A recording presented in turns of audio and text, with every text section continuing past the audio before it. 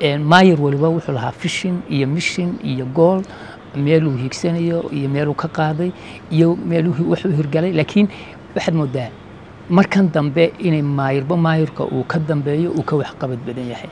Waxaad jeclaan lahayd malaha dadku inta badan waxaad jeclaan inaan ku soo dhowaado oo aan ku soo yar dhowaado. Waxa markaynu ka soo bilowno jiciir ilaa iyo iyo cabdiraxmaan soltelco midba midba wuxuu soo dhiibiyey. Maanta waxaan maraynaa maalintii ay ugu wanaagsanayd magaalada hargeysa boqol sannadood kadib waxaynu taagannahay meel ay aada u wanaagsan tahay. Meel ballanqaadyadii maayarka maanta jooga uu ballan qaaday uu fuliyey boqolkiiba toddobaatan in ka badan magaaladan hargeysa. Waxa weeyaan waxaa loo qaybiyaa nolosheeda oo dhan saddex soddonaad. Saddex soddonaad baa loo qaybiyaa waa labiyo soddonkii kun iyo sagaal boqol labiyo soddonkii oo ahayd markii ugu horreysay ee magaalada hargeysa. Laga dhigay caasimadda lixdankii waxaa haystay ingiriis. Ayaa joogay oo maamul ingiriisa ka jiray. Lixdankii ilaa koob sagaashankii waxaa ka jiray maamulkii soomaaliya. Sagaashankii ilaa laba kun iyo afar iyo labaatanna waxaa ka jiray maamulkii somalilan marka waa magaalo ay isbeddel ay isku bedeleen saddex maamul oo kala duwan. Mid walibana uu kaga tegay raad gaara xagga fanka xagga waxbarashada xagga dhaqanka xagga caafimaadka iyo xagga nabadgelyada. Nabaday daawadayaal ku soo dhowaada barnaamij gaar ah oo maanta marti igu yahay cabdiraxmaan maxamed maxamuud guun oo ah khabiir dhinacyo badan oo nolosha ah inooga warbixin doona. Sidoo kalena cabdiraxmaan guun waxa uu soo noqday maamulihii wargeyska warjire sidoo kale toddobiyo tobankii xubnood ee u horreeyey ee aasaaska ururka saxafiyiinta somalilan ee soolja sidoo kalena waxa uu ka qayb ahaa guddidii qabanqaabada ururka soonyo dalladda soonyo aan idhaahdee waxaanuu ahaa guddoomiyihii soonyo sidoo kale cabdiraxmaan waxa uu soo noqday maamulihii cisbitaalka guud ee hargeysa. Cabdiraxmaan waa nin badan runtii xilal badan oo bulsheedna oo waxqabadkeeda leh oo lagu xasuustana uu cabdiraxmaan u soo qabtay bulshadiisa. Cabdiraxmaan waan kaaga mahad waraysiga oo kula yeelanay telefishinka c b a iyo anigoo xamsaa oo waraysiga iga ogolaatayna mar labadan kaaga mahad celinaya aad baan ku soo dhowanayaa xamse iyo c b a iyo kameramaankaba waan ku dhowahay cabdiraxmaan waxa uu ku dhashay kuna barbaaray hargeysa cabdiraxmaan waaye fara badan oo hargeyso oo qurux badan hargeyso oo dagaalo ay saameeyeen hargeyso oo dib uga soo kabatay dagaaladii. Intaba cabdiraxmaan da'yartii ku barbaartay una soo joogtay buu ka mid ahaa. Bal cabdiraxmaan hargeysa markaaynu eegayno bal warbixin guuda dhinaca juqraafi ahaan taariikh ahaan iyo bulsho ahaanba bal hargeysa xamso aad iyo aad baad u mahadsan tahay markaan juqraafi ahaan magaalada hargeysa eegno waxaa lagu bajeertaa magaalada hargeysa waa magaalo ku taala laba buurood dhexdood waa magaalo uu doox dhex maro waa magaalo caan ku ah labada naasood ama buurta habla naasa hablood la yidhaahdo waa magaalo dooxaasi la yidhahdo marood sheex uu kala baro waa magaalo ka aasaasantay daanta koonfureed ee magaalada hargeysa una soo gudubtay daanta waqooyi ee magaalada hargeysa galbeedka iyo bariga. Waa magaalo aasaaskeedii lagu tilmaamo inay jirto meelaha boqol iyo labaatan sannadood oo qarni iyo labaatan sano meelaha noqonaysa. Waa magaalo aada u qurux badan deegaan qurux badan ayaan odhan karaa. Cimil ahaan ka waran hargeysa. Waa magaalo markii hore waxay ahaan jirtay magaalo bilaha koob iyo tobnaad tobnaad iyo labiyo tobnaad aada u qabow oo dhado qurux badani ka daado dhulku dharab yeesho ciiddeedu aynay dhoobo lahayn ciid qurux badan oo bataaxa lahayd. Laakiin sanadahan dambe waxaad moodaa in magaalada dhiiqa ay yeelatay dharabkii ka istaagay maxaa ahayde dhadadii quruxda badnayd ee aroortii la arki jiray ay baaba'day. Laakiin waxaad moodaa taasoon weliba u sabaynay wax kale maahee buuminkan faraha badan iyo dadka badana yimid iyo maxaa hawadan isbeddelka keentay. Laakiin waa magaalo run ahaantii aad iyo aad u qurux badan hargeysa inta badan waxaa la dhaha hargeysa harwanaag bal hargeysa maxay kaga duwan tahay magaalooyinka kale ee soomaalidu degto? Bismi illaahi raxmaan raxiim boqol wax bay kaga duwan tahay laakiin waxyaabaha kale waxyaabaha aynu odhan karno horta deegaan ahaan deegaanka somalilan way kaga duwan tahay. Waxaa kow ka ah biyaha. Magaalada hargeysa markaad eegto magaalada ceeri gaabo aan halkaa ka soo bilaabo iyo laascaanood burco berbera iyo boorama gebile iyo magaalooyinka kale oo dhan ee magaalada ee dalkan somalilan dhammaantood biyahooda waa qadhaadh.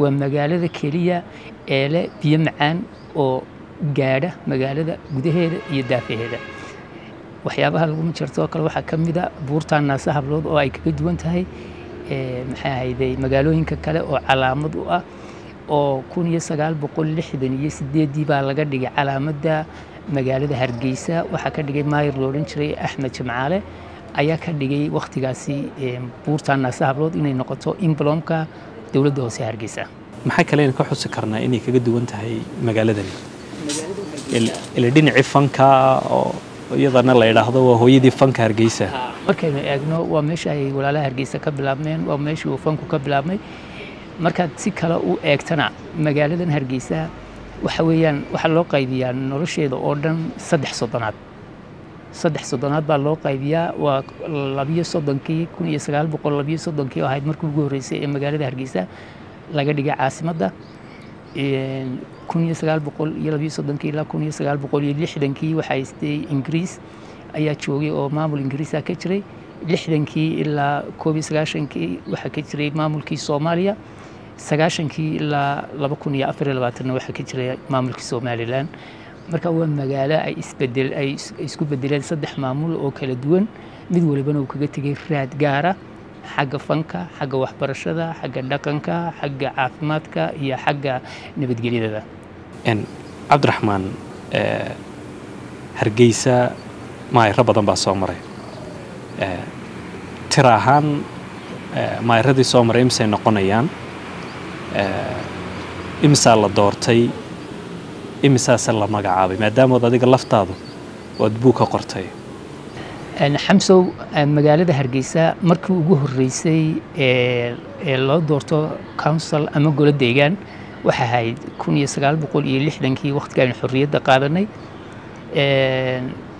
Bilihii julaay bilihii ilaa oktoobar ayaa la doortay golaheedii deegaana ugu horreeyey markaynu lix labaatankii juun qaadanay وحا نقضي ماير كوغو هريين لورنجري آدن عمر فرس مطر آدن حنيد لورنجري وحا كوحيين نين لورنجري إسماعيل حاجي عبولي وها مركورنا نين آد بوشيد وبوشيقية ونقضي ماير كي لبان. وحا ماير كي صدحان نقضي نين للا أحمد حاشي دولي ويسوغ مركا تشبوتي كي آهانا نين آه، ريهر جيساء. ماير كي أفراد وحا نقضي آه، محمد حاجي محمود اندبور deganaa xaafadda jameecada masaajidka jameecada guriga kasoo horjeeda halkaa deganaa maayarkaasi laba jeer baa la doortay waxaa maayarkii shanaad noqday axmed ibraahim guunje oo degan halka kaalinta imika shukri la yidhaahdo guryaha ka shisheeya axmed ibraahim guunje waxyaabaha lagu xusuusto waxaa ka mid a axmed wuxuu ahaa dugsiga sheekh bashiire maanta aynu naqaano ee fisher school la odhan jiray ninka badbaadiyey inuu maanta iskuulkaasi iskuul ahaado ee ku xidhay deyrka maanta ku xidhan iskuulkaasi fisher school ama sheekh bashiir oo wakhtiyadaasi isagu uu joogay ay niman reer hargeysa oo deegaanka hargeysa ay damceen inay dhulka bannaan iskuulka qaataan kadibna intii loo diray xamar lagu yiri kasoo qaata warqad intay ku maqnaayeen bu isaguna deerkaa ku xidhay maantana waad ogtahay halku maray iskuulkaasi waxaa ugu dambeeyey oo baayarkii lixaad noqday lixdankii la doortay axmed maxamed guuleed oo loo yaqaanay axmed jimcaale oo noqday maayarkii ugu dambeeyey ee magaalada hargeysa yeelatay lagu inqilaabo labaatankii oktoobar maalintaa uu dhacday markaa magaalada hargeysi lixdankii bishii tobnaad koob iyo labaatankeediiba inqilaabkaasi dhacay. Maalintaasiba ugu dambeysay markaa golo deegaan oo oo la doorto saasaana lagu inqilaab isagana waa la xidhay maayarkaa ugu dambeeyey ina jimcaale markaynu halkaa kaga nimaadno haddaynu kaga nimaadno dowladdii soomaaliya halkaa markaynu kaga nimaadno yacni dowladdii militariga ahayd ee dowladdii rayidka ahayd ee soomaaliya markaynu halkaa kaga nimaadno. Waxaa dhalatay dowladdii militariga ahayd ee uu hogaaminayay maxamed siyaad barre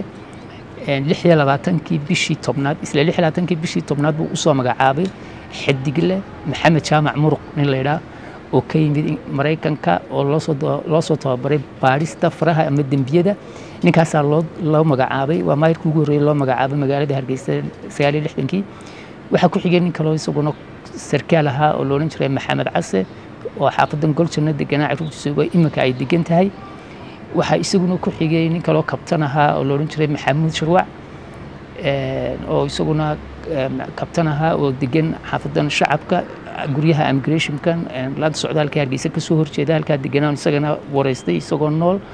Allah naxariista dhammaantood intii dhimatay inta nool ilaahay caafimaad ha siiyo. Markay halkaas marayso dhowr nin oo kale ayaa la magacaabay oo iyagoo u badnaa reer koonfureed.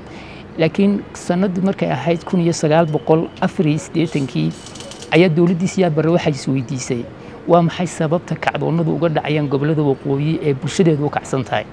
Waxaa lagu warceliyey bulshada reer somalilan imanka ee gobollada waqooyi inaanay uba talinba dadkii u dhashay dalka ee loo magacaabo dadka taliya ay yihiin dal looga diro koonfur. Taas waxay sababtay markaa in la yidhaha bal ha loogu celiyo taladooda marka waxaa la magacaabay guddi loo bixiyey guddiga golaha deegaanka ee hargeysa laakiin lama dooran ee xaafadaha laga keeni jiray waxaana guddoomiye looga dhigay markii ugu horreysay nin la odhan jiray jaamac geela nuur oo filayo iminka inuu nool yahay weliba uu degayey magaalada hargeysa jaamac geela nuur waxaa ku xigay oo kala wareegay xaashi muuse xuseen. Xaashi muuse xuseen waxaa kala wareegay ibraahim sheekh cabdiraxmaan oo isaga la magacaabay toddobiyo siddeetankii ilaa siddeed iyo siddeetankii qabtay. Ibraahim sheekh cabdiraxmaan wuxuu noqday maayarkii ugu dambeeyey ee soo gunaanaday taladii dalka soomaaliya laysku odhan jiray ee dowladdii maxamed siyaad barre waynu qaxnay koob iyo sagaashankii baa lagu soo noqday magaalada hargeysa koob iyo sagaashankii markii lagu soo noqday waxa ay dowladdii somalilan cabdiraxmaan axmed cali ilaah u naxariistay madaxweynihii ugu horreeyey u magacaabay magaalada hargeysa barre nuux xaaji cabdilaahi baralaangare oo noqday maayirkii ugu horreeyey ee magaalada hargeysa loo magacaabo waxaa ku xigay cumar xandulle booge oo noqday maayirkii labaad waxaa ku xigay maxamed xaashi cilmi oo noqday maayirkii saddexaad waxaa ku xigay cali xasan maxamuud cali asad oo noqday maayirkii afraad ee magaalada hargeysa yeelato. Waxaa ku xigay cabdiraxmaan ismaaciil xuseen cabdiraxmaan cadami oo noqday maayirkii shanaad. Waxaa ku xigay cawl cilmi cabdalla oo noqday maayirkii lixaad ee magaalada hargeysa yeelato intii somalilan jirtay. Cawl cilmi cabdalle waxaa ku xigay cismaan basbaas oo isagu noqday muddo gaaban. Maayir marka labaad waxaa lagu soo celiyey magaalada hargeysa oo dib loogu magacaabay maayirnimo cawl cilmi cabdalle oo baadhitaan kiis baadhitaano loo xidhay waxba lagu waayey mar labaad la magacaabay. Cawl cilmi cabdalle waxaa xilkaasi kala wareegay. Axmed maxamed maxamuud axmed dheere oo noqday maayirkii soo gebagabeeyey maayiradii la magacaabi jiray isagana waxaa xilka kala wareegay xuseen maxamuud shiciir oo ahaa maayirkii ugu horreeyey muddadii somalilan jirtay ee la doorto oo dadweynaha shacabka reer hargeysa ay doortaan. Jiciir waxaa ku xigay axmed warsame allah raxmo oo geeriyooday intii aanu xilka la wareegin laakiin maayirnimo ku soo baxay. Axmed warsamena waxaa ku xigay cabdiraxmaan maxamuud caydiid cabdiraxmaan solteelko cabdiraxmaan solteelkana waxaa kala wareegay cabdikariim axmed mooge liibaan oo maanta haya xilka maayirnimada. Isugeyn markaynu eegna haddaba maayirada la doortay ee magaalada hargeysa soo maray tan iyo kun iyo sagaal boqol iyo lixdankii ilaa ilaa laba kun iyo afar iyo labaatan waa toban maayir. Tobankaa maayir lix ka mida waxaa la doortay lixdankii ilaa sagaal iyo lixdankii. Afar ka mida waxaa la doortay waktigii imanka doorasho waktigan ugu dambeeyey oo jiciir ilaa cabdikarina tobankaa maayir waa elected maayir baa la yidhaahdaa. Inta kale waxay ahayd nominated mayors oo waa la magacaabayay maayiro la magacaabay ahayn tirada guudna imise isku wada noqonayaan? Waxaa markaynu eegnay inta la doortay waa toban. Inta kale ee aan la dooran waxay meel waxay noqonaysaa labiyo toban kale meelna waxay noqonaysaa labaatan. Marka la isku geeyo conton iyo something bay ay noqonayaan. Laakiin waxaan kaa iloobay waxay ku kala duwanaayeen golaha deegaanka ee magaalada hargeysa maanta taliya iyo golihii deegaanka ee lixdankii ilaa sagaal iyo lixdankii talinayay golaha deegaanka iyo maayirku kala labay ahayn waxaana jiray guddoomiye golo deegaan oo aan ahayn maayirka sagaalkaas sannadoodna waxaa guddoomiyaha golaha deegaanka ee magaalada hargeysa ahaa nin la odhan jiray axmed xasan ibraahim oo ahaa guddoomiyaha golaha deegaanka lixdankii ilaa sagaal iyo lixdankii markaa maayirku wuxuu ahaa nin gaar loo doorto golaha deegaankana waxaa xukumi jiray guddoomiyaha golaha deegaanka. In ka badan konton maayir oo qaarna la doortay qaarna la magacaabay ayaa hargeysa soo maray. Taariikhduna waxaa la idhaahdaa iyadaa xusaysa macnaha qof kastaba wixii uu hargeysa kaga tegey bal maxaynu ka xusi karnaa waxqabadyadii maayiradaasi intii ugu waxqabadka badnayd ee macnaha bulshadu ay u riyaaqeen. Horta xamsow dhibaatada jirta waxay tahay bulshada maanta joogtaa iyo bulshada wakhtigaa joogtay laba bulshoo kala duwan baa ahayn. Hargeysa kun iyo sagaal boqol iyo sideed sideetankii markii laga qaxay waxay ahayd markii laga qaxay waxay ahayd saddex boqol oo kun oo qof ayaa ku noolaa. Soddon sano kadib maanta waxaa ku nool saddex milyan in ka badan. Ninkaas saddexda boqolee qof wuxuu qabanayay. Iyo ninkii ka horreeyey soddonka kuna qof wuxuu qabanayay. Iyo ka maanta saddexda milyan qof wuxuu qabanayaa kulle isku waxqabad ma noqonayaan. Isku baahiyana loogama baahna. Markaad eegto magaaladan hargeysa kun iyo labadii ilaa soddon iyo sagaalkii hal cariish baa lagu daweyn jiray dadkeeda. Oo health post keliya lahayd. Afartankii ilaa saddex iyo kontonkiina hal m c h ama health center bay ahayd oo cisbitaalkan t v da imika naga dambeeya qaybtiisa lagu qaada candhuufta dhakhaatiirtu fadhiistaan sabada maxkamadda eegeys waxaa ku qoran root fisher clinic. Root fisher waxay ahayd gabadhii uu qabay fisher oo ahaa barasaabkii waktigaasi labiyo afartankii halkaa la dhisay. Loogu magacdaray sheekh bashiir ninkaa gabadhiisaa dhistay oo loogu magacdaro root fisher clinic baa la odhan jiray. Labiyo afartankii ilaa saddex iyo kontonkii intaasay lahayd saddex iyo kontonkii baa la furay bishii sideedaad ilaa bishii sagaalaad baa cusbitaalka guud ee magaalada hargeysa la furay oo inta badan aan cusbitaalku wax badan qaadi karin laakiin o b d ahaan iyo firmis ahaan loo furay. Maantana waad ogtahay inta ay marayso iyo xaaladaha ay marayso waxqabadkeeda haddaynu eegno sagaalka maayare ugu horreeyey mid waa ninka dhisay waddada dambe ee cusbitaalka dabamarta mid wuxuu sameeyey wadadan wadadan imika hore ee xalka marta iyo halka ay diyaaraddu saarantoo kale waxaa sameeyey axmed xaashi dhuule wadada bangiga daba marta axmed xaashi dhuule sameeyey ee fakinka saa u dhex marta wadadaa dambe cusbitaalka soo daba marta aadan xaniid baa sameeyey wadadan hargeysa waxay ku taagnayd dowladda hoose ee horteeda dowladda hoose horteeda halka calanka dowladda hoose ku yaallo ayay wadadan tooska ee imika lambar wanku uu ku taagnaa axmed ibraahim guujaa ka qaaday halkaa waxaanu gaarsiiyey ilaa halka kaalinta inaa galan la odhan jiray imikana shukri la yidhaahdo ayuu halkaasuu gaarsiiyey. Markaa nimba nimba waxbuu qabtay oo nimba waxbuu sameeyey. Waxa weeyaan markaan u soo noqonno qolooyinkan maanta qolooyinka maanta jooga maxamed xaashi cilmiye oo kale magaalada wuxuu sameeyey town plan aad u qurux badan oo wanaagsan. Sida degmada maxamed moogo kale iyo degmada gacanlibaax qaybteeda la yidhaahdo maxaa ahayde kililka waa ninkii sameeyey waddada boqol iyo kontonka ee maanta inta badan la yidhaha maxaa wax looga qaban waayey sameeyey soo wareejiyey. Iminkana ay ka shayso waddada labada boqol. Maayar waliba wuxuu lahaa fishin iyo mishin iyo gool meeluu hiigsanayo iyo meeluu ka qaaday iyo meeluu wuxuu hirgalay. Laakiin waxaad moodaa markan dambe inay maayirba maayirka uu ka dambeeyo uu ka waxqabad badan yahay. Waxaad jeclaan lahayd malaha dadku inta badan waxaad jeclaan inaan ku soo dhowaado oo aan ku soo yar dhowaado. Waxa markaynu ka soo bilowno jiciir ilaa iyo iyo cabdiraxmaan soltelco midba midba wuxuu soo dhiibiyey. Maanta waxaan maraynaa maalintii ay ugu wanaagsanayd magaalada hargeysa boqol sannadood kadib waxaynu taagannahay meel ay aada u wanaagsan tahay. Meel ballanqaadyadii maayarka maanta jooga uu ballan qaaday uu fuliyey boqolkiiba toddobaatan in ka badan. Walow uu leeyahay mucaaridad fara badan laakiin anigu waxaan idhaahda ama aan ahay dadka u soo joogay wakhti fara badan.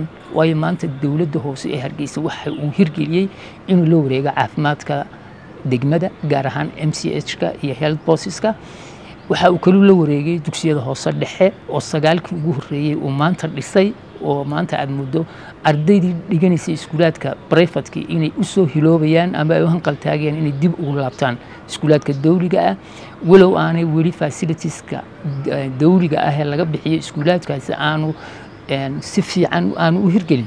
Haddana waxaad moodaa markaad gasho iskuullada qaarkeed ilaahay khayr ha ka siiyey inuu wax badan badan badan ka qabtay. Cabdiraxmaan solteelka laftigiisu wakhtigiisoo adkaa golaha deegaanka oo ku badnaa isaga iyo shiciirba oo shan iyo labaatan maayir baa la xukumayey shan iyo labaatan maayiroo nin weliba u baahan yahay wuxuu muxuu bixiyo. Shan iyo labaatan maayiroo la soo doortay oo dadkii soo doortay nin weliba uu garabka haysto gacanta haysto uu leeyahay maxaa waxaan loogu waxay waxay soo mareen wakhti adag iyaga laftigoodu laakiin cabdikariim waxaad moodaa inuu yahay maayirkii ugu nasiibka wanaagsanaa maayirkii ugu waxqabadka wanaagsanaa. Maayirkii ay bulshadu aan odhan karo way la shaqaysay. Odhan maayo kuwa kale way hagratay. Laakiin wuu ka kasbaday inay bulshadu la shaqayso wakhtigan een, cabdikariim axmed mooge. Intaasaan kugu koobi doonaa baan Dhow- umaleynaya. dhowr iyo soddon sanno baynu odhan karnaa in maayirkii ugu horreeyey uu dib ula soo wareego adeegyadii aasaasigaa qayb ka mid ah. Sida waxbarashadii iyo sidoo kale caafimaadkiiba. Oo cabdikariim nasiib u helay lana odhan karo dadaalkiisa iyo iyo waxqabadka iyo uheelanaanta bulshada ayuu heerkaa ku gaadhay cabdiraxmaan hargeysa hadallo badan baa u baxay. Haddaynu kaftan ka dhigno. Een, kaftannada hargeysa inta badan u baxa maxay maxay maxay maxay yihiin amba aynu ka xusi karnaa. Wallaahi kaftanada hargeysa horta hargeysa waa laba daamood. Marka marka labada daamood way xifiltamaan xifiltan fara badan baa ka dhaco. Qolooyin beri horta berigii hore een, imika wax badan kama dhace. Beri waxaa la odhan jiray marka maaragtay waxa waxa tartanku mararka xifiltanku dhaca waxa weeyaan marka tartanku uu dhaco. Degmooyinku ciyaarahoo kale markay geli jireen markii waaxaha la soo saari jiray waxyaabo fara badan dhici jireen. Laakiin marka waxaad moodaa xifiltanka ugu badan ka jira inuu yahay ka qabyaalada haddaan soo koobo. Xifiltankii waxqabadku ee deg- ee magaalada hargeysa caanka ku ahayd ee magaalooyinka kale kaga duwaneyd waxaad moodaa maanta inuu ku soo gabagaboobay xifiltan qabyaaladeed oo laysu xifiltamo lagu xifiltamo xisbiyo iyo ururo oo aad mooday in laga in, laga mashquulay oo bulshadii adamaha maamulkii laakiin bulshadii waxay ka mashquulshay waxqabadkii iyo istaageeridii iyo istaakulayntii iyo wada dhalashadii iyo wanaajintii waxyaabo badan bay ka mashquulsho aad moodaa inay kaga mashquulshay arrinta siyaasadda iyo iyo xisbiyada iyo qabyaaladda inagoo ka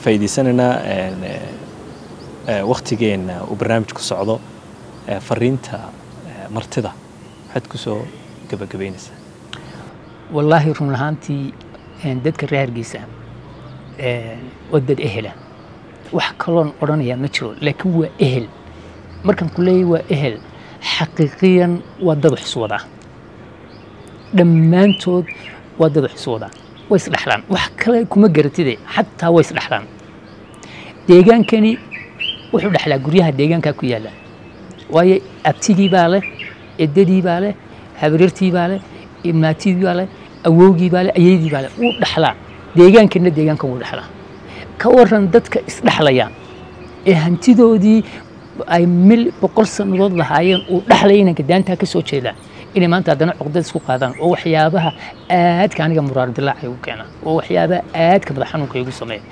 لبدا أنت عمدت كن مجال الهرجيسة دجني الحقيقيا واحد أورن كرا هو وهو فاملي. وهل قوس أكليا بيها يود عبان ليت كوال الشيطان دب كي كلقاتان. ديجان بيكو ولا شيء واو إن يأبتجي وإن يأددي. Waa inan iyo habaryartii waa awow waa ayey meel kasta oo la maraa. Qof waliba qofka kale wax bay isku yihiin. Marka dadkii caynka ahaa waxyaabaha aan bulshada u sheegay waxa weeyaan maanta magaalada hargeysa saddex milyan ilaa afar milyan baa ku nool oo cad dadka reer somalilan boqolkiiba konton iyo shan somalilan dadka ku nool waxay ku nool yihiin hargeysa. Markay sidaa tahay waxaan leeyahay ciddii qabanaysa maamulka ama ciddii la dooranayo loo dooranayo madaxweyne waxay u taallaa bulshada wax idinka idin khuseeya iyo wax dhibaato isuukin keenaya ma jirto nin walooba qofkii aad taageersan tahay adigoo aamusan far baa lagu codaynaya qori laguma codaynayo qaylana laguma codaynayo cayna laguma codaynayo aflagaado laguma codaynayo isnac laguma codaynayo isdil laguma codaynayo waxaa cod looga baahan yahay waa warqadaa yar ee aad ku ridaysa meesha adigoon walaalkaa caayin adigoon ehelkaaga ceebeen. Adigoon dadkaaga xumaan ka sheegin. Warqadaada qaado qofkaad doonaysa waa adiga iyo ilaahay baa ugu rid. Laakiin haysnicna midna waxaan leeyahay salaadiinta. Wan iloobi gaadhay iyo cuqaasha nimanka dhaqanka nimanka dhaqanka waxaan leeyahay ehel baad ahaydeen dhaqan baad ahaydeen meel baad ka soo wada jeedeen. War dib ugu noqda dhaqankii suubanaa ee aad awowyaashin iyo aabyaashin ka dhaxasheen. Ee ahaa isku haynta iyo isku tanaasulidda iyo isku keenidda dadkan walaalaha. Intaasaan odhan lahaa. Daawadayaal intaasi waxaan ku soo gabagabeynaynaa barnaamijka xog sida uu maanta marti igu ahaa cabdiraxmaan maxamed gun oo aanu ka wareysanaynay maayaradii soo maray caasimadda hargeysa kuwii la doortay iyo kuwii la magacaabay labadaba. Waa naga mahad celinaynaa cabdiraxmaan waqtigiisa uuna siiyey dhinaca kamraddan waxay kala qayb qaatay injineer sayid buraale iyo farsamada cabdirasaaq cisman dhammaantiin. Waxaad ku dhaafaynaa sidaa iyo nabadgelyo. Maasha allah soo dhowaada la jaanqaad shirkadda telesom. Maxmil waxay kuu diyaarisay adeegga internetka ay faibar optiga kaasoo xawaarihiisu kala go' lahayn. Waa guji waa ishaa biligteeda. Intuu soo gudlanayo hadalba gam hagarla ii ku isticmaal soshiyal miidiyaha kuna daawo wararka cayaaraha iyo onlaine geemiska haddaba maxmil soo gasho gurigaaga xafiiskaaga iyo goobtaada shaqo. Fadlan nagala soo xidhiidh nambarka gaaban